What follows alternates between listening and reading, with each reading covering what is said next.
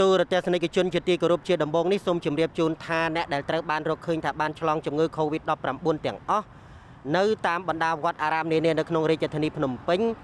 ត្រូវបានព្យាបាលឲ្យជាសះអស់ហើយកាលពីប្រមាណសប្តាហ៍មុនមកម្លេះហើយបច្ចុប្បន្ននេះវត្តអារាមនានានៅក្នុងរាជធានីភ្នំពេញពុំទាន់ត្រូវបានរកឃើញថាមានអ្នកឆ្លងជំងឺ Covid-19 ថ្មីទៀតទេហើយបើតាមការសង្កេតពិនិត្យផ្ទាល់ឃើញថាវត្តអារាមនានានៅក្នុងរាជធានីភ្នំពេញប្រមាណជា60ទៅ70%ហើយ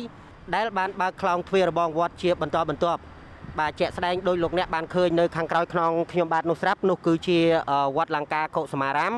ដែលយើងហៅថាវត្តលង្កា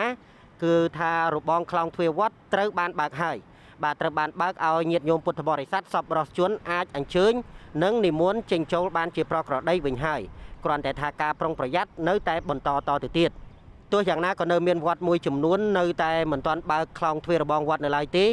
ពលគឺថាខ្លោងទ្វាររបងវត្តនៅតែបន្តបិទតទៅទៀត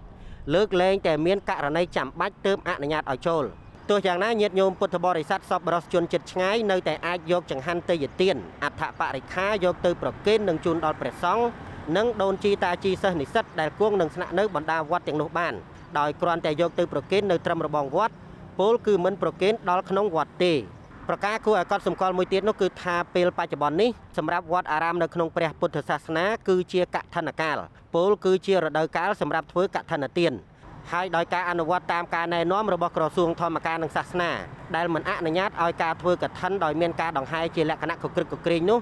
យើងសង្កេតឃើញថាវត្តអារាមមួយចំនួនគ្រាន់តែបើកទ្វារសម្រាប់ទទួលកឋិនទានតែប៉ុណ្ណោះ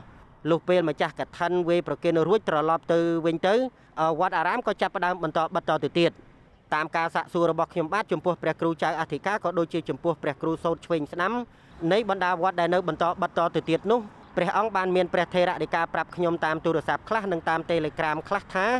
វត្តរបស់ព្រះអង្គនឹងនៅបន្តបិទតទៅទៀតរហូតដល់ចំនួនអ្នកដែលត្រូវបានរកឃើញថាបានឆ្លងជំងឺ Covid-19 នោះបានធ្លាក់ចុះមកនៅទាបដូចជាត្រឹម4 10 20អ្នកក្នុងមួយថ្ងៃជាដើមខណៈបច្ចុប្បន្ននេះនៅក្នុងប្រទេសកម្ពុជាយើងក្នុងមួយថ្ងៃ ត្រូវបានរកឃើញថាមានអ្នកឆ្លងជំងឺ Covid-19 ថ្មីប្រមាណជា100អ្នកនៅឡើយ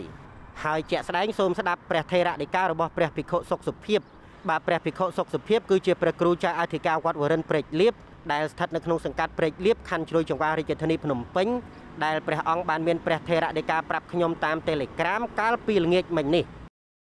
អូអាត្មាអំបើងបងអត់មានញាធរណាគាត់គាត់ណែហាមគាត់ទេ មានគាត់ជំរុញឲ្យបើកប៉ុន្តែអាត្មាមិនទាន់បើកដោយសារអាត្មាមិនទាន់គិតថាវាសុខភាពបងប្អូន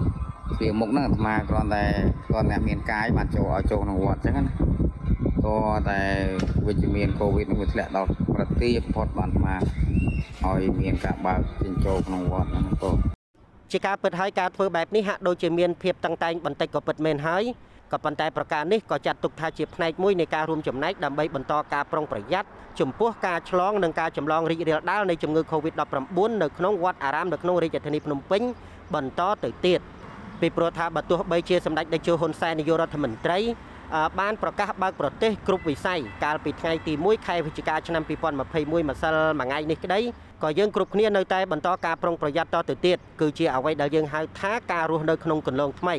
ហើយប្រសិនបើគ្រាន់តែសម្ដេចតេជោលោកប្រកាសបើកប្រទេសហើយយើងនាំគ្នាធ្វេសប្រហែសឬក៏លែងប្រុងប្រយ័ត្នដោយប្រការណាមួយនោះគ្មានអ្នកណាអាចបានដឹងជាមុនទេថាតើជំងឺ Covid-19